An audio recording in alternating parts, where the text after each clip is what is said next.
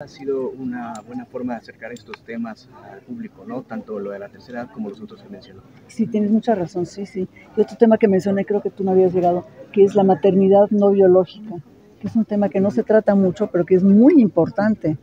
Y nuestro personaje principal este, vive eso, justamente. Y, y es hermoso el tema. ¿Cómo es para usted, señora Diana, eh, pues seguir dándole brecha, entrada a las nuevas generaciones de jóvenes, desde Daniela Castro, ahora estas nuevas generaciones, ¿cómo es? No, pues imagínate, Daniela Castro era una niña, creo que ella es una abuelita, Exacto. ¿no? o casi.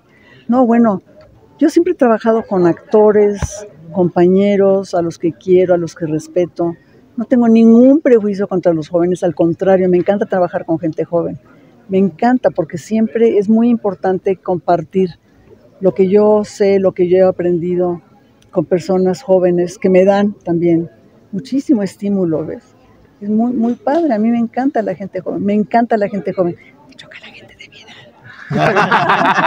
Diana la recordamos por grandes villanas en, en, la televisión y en este caso pues no va a ser villana, No va a ser. va a ser Sí, fíjate que yo ya hace mucho que decidí que no hago villanas y buenas, yo hago personajes. Yo nunca, nunca hago juicios morales sobre mis personajes. Ay, ahora me toca hacer una mala. ¿Cómo le voy a hacer para ser mala? ñaca, ñaca. No, nunca. Siempre pienso que los personajes son seres vivos que tienen una historia, que tienen un pasado, que tal vez tienen dolores que no han resuelto, resolvido, ¿eh? ay, qué horror, qué pena, se me fue el avión, este, resuelto, y entonces nunca pienso en las que ser villanas. Yo ya decidí nunca ser villanas, hacer personas.